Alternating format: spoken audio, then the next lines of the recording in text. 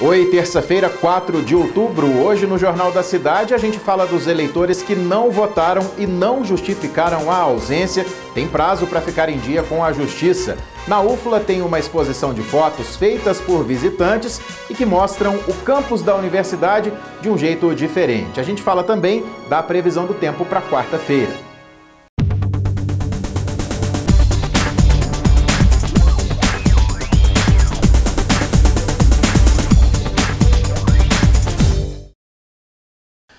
A gente abre essa edição falando dos eleitores que não votaram no último domingo e não justificaram a ausência. Agora, a Justiça Eleitoral deu um novo prazo para que essas pessoas não fiquem em situação irregular. O eleitor que não estava na cidade onde vota e que não preencheu o formulário de justificativa no dia das eleições, agora tem que procurar o cartório eleitoral. É que, mesmo com o fim do processo eleitoral, essas pessoas ainda precisam justificar a ausência para ficar em dia com a justiça. É, esse eleitor que não votou nem justificou no dia da eleição, ele tem 60 dias para procurar o seu cartório eleitoral e fazer justificativa. Esse prazo vai até 1 de dezembro. Então, se o eleitor é da nossa zona, ele vem até o nosso cartório eleitoral aqui da 160. Se não, ele tem que procurar o seu cartório da sua zona eleitoral para fazer justificativa. Até o dia 1 de dezembro não tem cobrança de taxa para fazer essa justificativa. Mas a Justiça Eleitoral tem punições para o eleitor que perder esse prazo.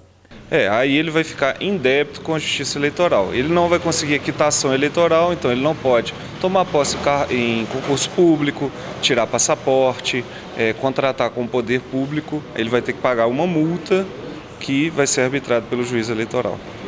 E vamos saber da previsão do tempo para essa quarta-feira. De acordo com o Instituto Clima Tempo, o dia aqui na cidade deve ser de sol e céu nublado. A temperatura mínima deve ser de 17 graus e a máxima de 26. A chuva dá um tempo e só volta na quinta-feira. Ventos em 9 km por hora e a umidade do ar vai a 45%. E a Universidade Federal de Lavras está realizando uma exposição de fotos. São 50 imagens do campus que foram feitas por várias pessoas. A diretoria de comunicação da UFLA montou essa exposição para comemorar as 50 mil curtidas que tiveram no Facebook. Eles recebem as fotos pela internet e publicam na página da universidade. Foi feita uma seleção dos melhores trabalhos e agora essas fotos fazem parte da mostra Redes UFLA Olhares. As pessoas frequentam o campus com um olhar diferente, registrando paisagens, animais.